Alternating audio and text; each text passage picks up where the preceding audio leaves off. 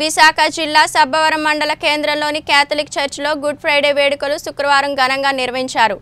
ఈ సందర్భంగా పవిత్ర గురువారం రాత్రి నుంచి శుక్రవారం సాయంత్రం మూడు గంటల వరకు జరిగిన ప్రత్యేక ప్రార్థనల్లో Eluru Catholic church father Arun ప్రత్యేక దైవ సందేశం ఇచ్చారు. గుడ్ ఫ్రైడేను పురస్కరించుకుని సబ్బవరం ఫాతిమా మాత కేథలిక్ చర్చ్ ఫాదర్ అనితోటం ప్రత్యేక ప్రార్థనలు జరిపారు. యేసుక్రీస్తు తన పన్నెండు మంది శిష్యులతో గడిచిన కాలాన్ని సిలువ వేసే ముందు ఒక శిష్యుడు కుట్ర కారణంగా ప్రభువు బలైన సందర్భాన్ని గుర్తు చేశారు. శ్రమదినాలు నలభై రోజుల పాటు ఎంతో నిష్టతో ఉపవాస దీక్షలు చేసిన క్రైస్తవ భక్తులు శుక్రవారం మధ్యాహ్నం మూడు గంటలకు క్రీస్తు సిలువలో మరణించిన సమయం వరకు ఉపవాస దీక్షలు కొనసాగించారు. ఈ ప్రత్యేక ప్రార్థనల్లో సబ్బవరం మేజర్ గ్రామ పంచాయతీ సర్పంచ్ దెద్దం ప్రసాద్ ఉప సర్పంచ్ మండల లక్ష్మణరావు ముఖ్య అతిథులుగా పాల్గొని క్రైస్తవులకు ప్రసాద వితరణ చేపట్టారు. బ్రిజిటన్ sister Alice Mahima Flora Namita church పెద్దలు గణేష్ పాలవెల్లి అప్పారావు తదితరులు పాల్గొన్నారు.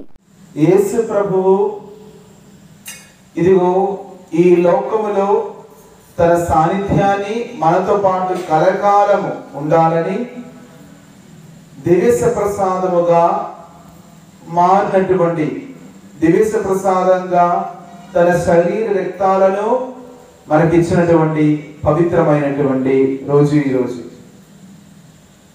ప్రియ సహోదరి సహోదరులారా ఈ యొక్క దివ్యస ప్రసాద రహస్యం మన జీవితంలో మనం ఎంతో ధ్యానించవలసినటువంటి రహస్యం. చేసినటువంటి ఈ యొక్క గొప్ప రహస్యాన్ని దేవుడు మన రక్షణార్థం చేసినటువంటి ఒక గొప్ప రహస్యాన్ని మనం ప్రేమతో ధ్యానిస్తూ ఈ యొక్క సప్రసాద రహస్యాన్ని బట్టి ప్రభువునకు వందనలు అర్పిస్తూ ఈ యొక్క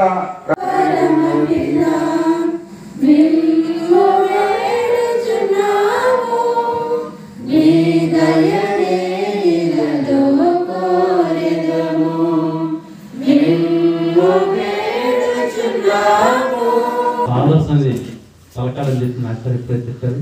సంతోషం. అయితే ఇలాంటి చిన్న విషయం కూడా మాకు తెలియనంత పరిస్థితిలో ఉన్నాం. ఏదేమైనప్పటికీ మనందరూ హిందుత్వంలో మేమైతే అనుకున్నది ఏంటంటే భగవంతుడు ఏ రూపంలో ఉన్నా భగవంతుడే. క్రిస్టియన్ కేసు ముస్లిం కాళ్ళ హిందూకు రాముడు అన్న దృక్పథంలో మేమైతే ఉంటాం. అయితే మా చిన్నతనంలో మా మదర్కి ఒక మేజర్ ఆపరేషన్ జరిగింది. అప్పుడు నాకు ఎయిత్ క్లాస్ అంటే ఎయిత్ క్లాస్ చదువుతున్నా ఆ రోజులో మాకు ఎయిత్ క్లాస్ అంటే నా వయసు మ్యాక్సిమం ఒక థర్టీన్ ఇయర్స్ ఎంత ఉంటుంది. ఆ టైంలో చాలా భయపడ్డా. నాకు అందరూ అక్క చెల్లెలు ఐదుగురు ఆడపిల్లలు. నేను ఒక్కనే మగపిల్లలు మాత్రకి ఏదో అవుతుందని అక్క చెల్లెలు అందరూ ఏడుస్తుంటే ఆ సమయంలో. కరెక్ట్గా మేజర్ ఆపరేషన్ డిసెంబర్ ట్వంటీ ఫిఫ్త్ని పడిపోయినాను